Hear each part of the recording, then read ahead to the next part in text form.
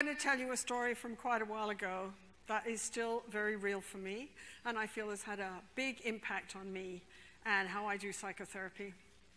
And it's about my first client. So I started in this field by getting a job at a residential treatment center in Vancouver. I was looking for a job, I was out of work, and they said they wanted counselors. I didn't even know what that meant, okay? But I applied, and I found out that this was a residential treatment center where kids would come from all over the province, and they would stay for about a year. And I was told that they would do group, individual, and um, family therapy. I said, okay. So I was introduced to Cottage One right? And I would sit, I, for the first couple of weeks, I just sat there with my mouth open and watched this stuff called therapy, which looked pretty weird to me. And I had no idea what this was about. I had a degree in English literature, a teaching year, and I taught for a year in a high school. So I was like, whatever, you know. And the other thing that you need to know is it was Vancouver in the 70s. It was the human potential movement. So everybody was into something called Gestalt, two chair. I remember writing to my friend in England saying, North Americans are very strange. They talk to an empty chair. and everyone was into something called catharsis and encounter groups. So it was like I was sort of thrown in the touchy feely deep end without a life jacket. Okay? So I'd been there for a few weeks and I was told I was going to be given my special kid. And I was going to be his chief therapist. I didn't even know what that meant. I didn't know what it looked like, right? So I was introduced to Lee. And I can't quite remember his last name, but I must have sounded something like Wimple. Because the minute he came into the cottage, Bruce the bulldozer, the big bully of the cottage, who had shoulders as wide as this room and who terrified everybody, uh, and I'm including the staff here, he terrified everybody. Bruce the bulldozer looked at Lee and immediately started following around, him around saying, Wimple, simple, pimple. So we didn't know what to do about that. So this is the state of our therapeutic technique. We would ask Bruce very politely if he would mind stopping doing this. but Lee was an interesting kid. Lee was about 14. He was tall and thin, and he wore short sleeved, button down cotton plaid shirts. He had enormous round eyes and his hair stood up on top of his head in corrugated waves. He looked like a young Kramer from Seinfeld. The point about Lee, and this category isn't in the DSM, apart from what he looked like, Lee was just peculiar. Um, first of all, Lee had a, um, he had a phobia that if he swallowed his saliva, he would die. So he would walk around the cottage with his hair and his big eyes, with his cheeks going. And then he would dash to the washroom to wash his mouth out, okay? The other thing about Lee is he didn't speak. Lee was silent. He was totally silent. What I knew about Lee, if you spoke to him, he'd look at you with his big eyes, and then he'd look down at the floor, and that would be that, okay? So, what I knew about Lee was his mother had died when he was very young. He lived way out in the sticks with his much older father on a farm. And he'd somehow fallen through the cracks and he hadn't really gone to school. And his father just wanted him to help with the cows. He didn't really have any peers, and somehow he'd come to the attachment of the to the attention of the agencies in town, and they'd sort of deposited him in this treatment center, right? So if you did, if in, in the group process we had every morning in the cottage, people would try to engage Lee, try to ask him questions, and he would just stare and look down at the floor. In family therapy, the sessions with his father were painful. I'd sit there with the social worker, and the father would drone on and on about his cows and how Lee wasn't very useful on the farm, and Lee would just stare at the floor. But even more difficult is I was told I was supposed to do individual therapy with him. And I was told that in vogue at that time in Vancouver was something called catharsis. So I looked up catharsis in the dictionary, and it said that it was a form of diarrhea.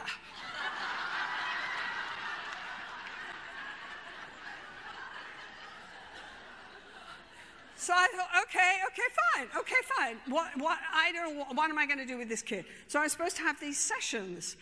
So what I, I was so out of my depth, it was ridiculous, okay? I was just sort of wandering along, right? So I kept expecting to be fired or something, right? So I noticed that in his room he had these books of birds. So I said to him, well, we're supposed to do this talking, you know, it's called individual therapy, and we're supposed to do this talking.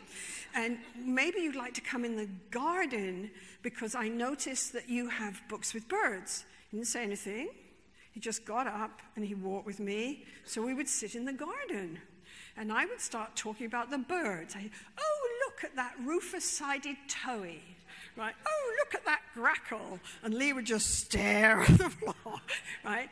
And it's a bit tricky because I was given a book on therapy and it said that you're not supposed to put words in the mouth of your client. but give me a break. I mean, what was I supposed to do? Just sit there? So I thought, to hell with that, right? So I would sit beside Lee and I would talk about the birds and I talk about the cottage. And then I started to talk about what it must be that I was going to guess, and would he mind if I guessed?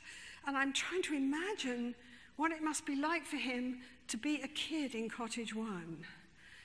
And I would watch his face, and I started to talk to him about that I couldn't imagine what it was like, that it must have been so lonely, and that it sounded like he'd grown up all by himself, and that he must have decided at some point that the world was a very dangerous place and that he really didn't feel safe with anyone.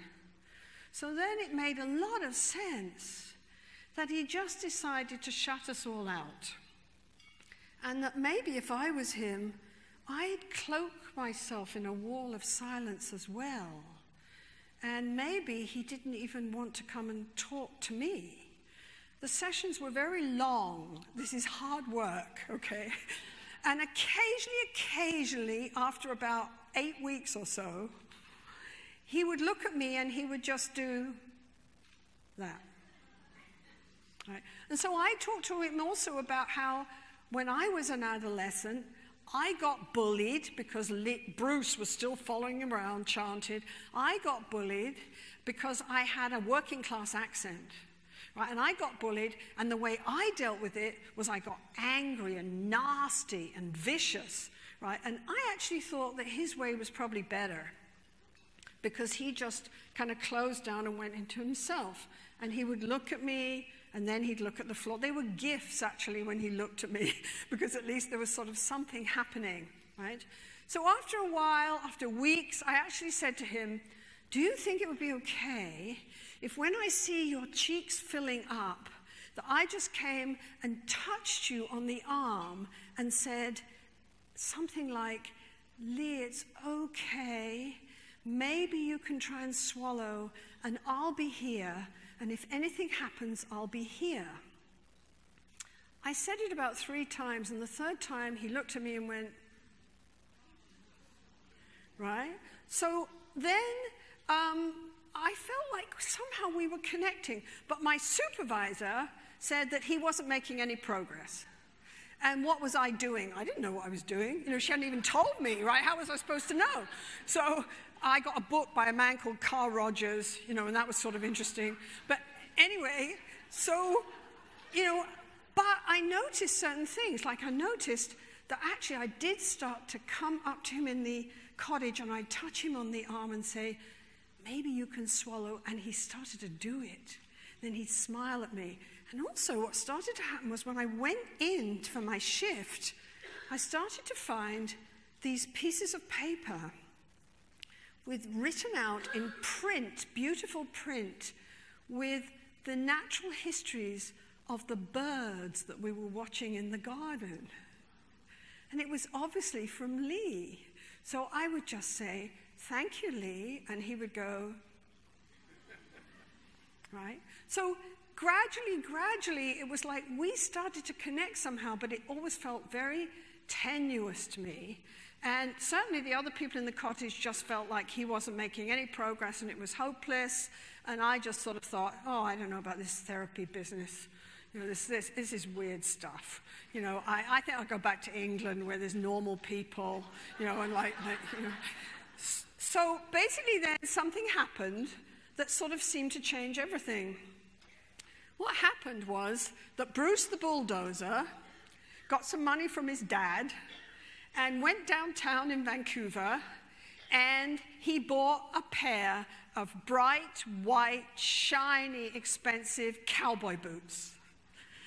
And he started walking around the cottage, prancing around in these cowboy boots and flexing his muscles. And of course, as he did this, he would use his favorite macho chant simple, wimple, pimple, right? And he'd just march about, and Lee would just sort of hide, right? So one day, when we're having group process, group, we're all sitting around in group. There are 15 kids in a group and three counselors. So we're sitting there. Bruce isn't there. And suddenly, Bruce comes and his face is thunder.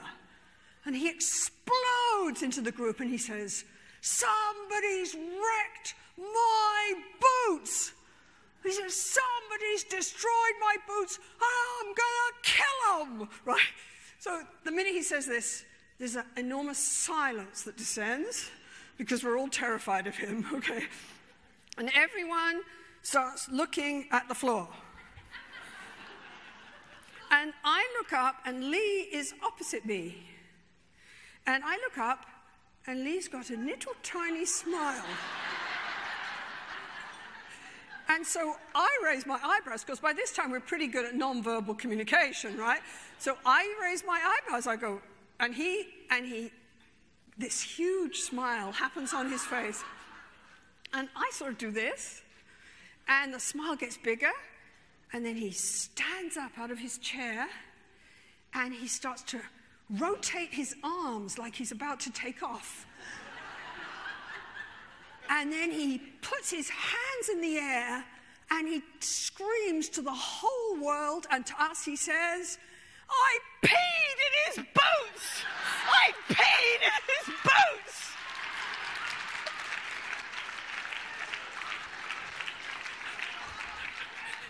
There's a dead hush.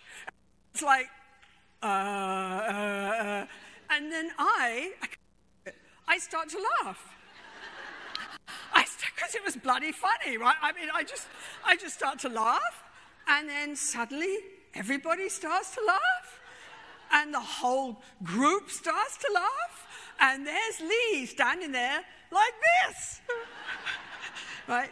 And Bruce, he looks confused. This isn't what usually happens when he gets mad, right? He looks confused, and he looks around, and he flees, right? So it's really, this is really, really interesting. After this morning, Lee changes. He finds, he makes a friend in the group. He actually starts to talk slowly, in stilted words, but he starts to talk.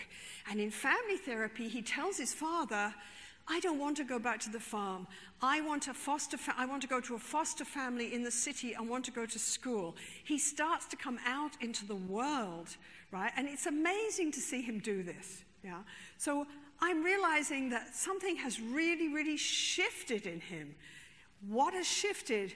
He's found his voice, and now he actually swallows.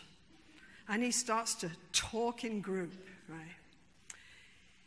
It took a while for me to find my voice. It took a while for me to figure out what I really learned from Lee. And no, I did not learn about the power of defiant urination. he taught me something different. And he taught me something that I feel I have taken into every session that I've ever done with anybody.